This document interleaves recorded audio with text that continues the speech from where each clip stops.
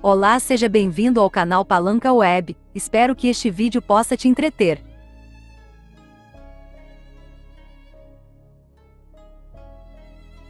UNITA promete salário mínimo de 150 mil kwanzas na função pública, em caso de vitória nas eleições gerais. A União Nacional para a Independência Total de Angola, UNITA, principal partido da oposição angolana, tem como garantia no seu manifesto eleitoral de governo inclusivo e participativo, GP, estabelecer um salário mínimo na ordem de 150 mil kwanzas na função pública, em caso de vitória nas próximas eleições gerais de agosto. A informação foi tornada pública nesta terça-feira, 26 de julho, durante o tempo de antena do partido do Galo Negro, na televisão. A medida faz parte do programa do partido para combater a pobreza e a fome em Angola.